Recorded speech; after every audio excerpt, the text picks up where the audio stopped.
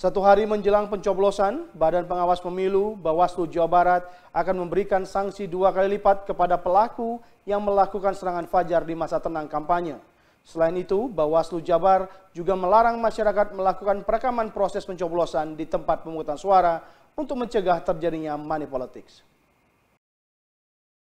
Badan Pengawas Pemilu memperketat pengawasan kepada pergerakan relawan ke setiap rumah warga Hal ini guna mencegah serangan fajar menjelang hari pencoblosan. Dalam pasal 523 Undang-Undang Nomor 7 Tahun 2017 tentang Pemilihan Umum menyebutkan pelaku money politik di masa tenang akan mendapatkan hukuman dua kali lipat dibandingkan dengan masa kampanye. Di samping itu, pelaku money politik akan menyasar ke seluruh tim kampanye dan penerimaan uang akan dapat dipidanakan dengan hukuman pidana 4 tahun serta denda 48 juta rupiah. Selain itu, Bawaslu Jawa Barat juga mengingatkan masyarakat untuk tifak merekam proses pencoblosan guna menghindari indikasi politik.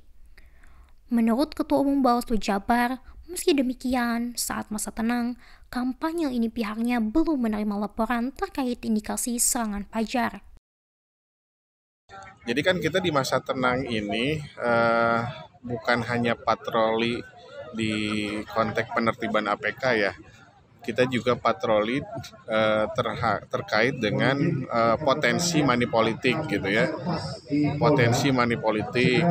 Oleh karena itu rekan-rekan pengawas ad hoc kita di lapangan Panwascam PKD bahkan sampai PTPS kita kerahkan untuk keliling ya.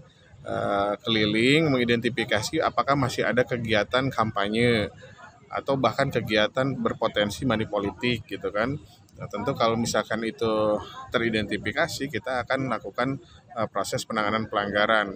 Uh, di mana di hari tenang ini uh, di pasal 523 uh, konteks money politik itu diperberat uh, hukumannya dua kali lipat dari masa kampanye. Uh, penjara 4 tahun, denda 48 juta. Nah, di masa pemungutan suara itu subjek hukumnya menyasar ke setiap orang.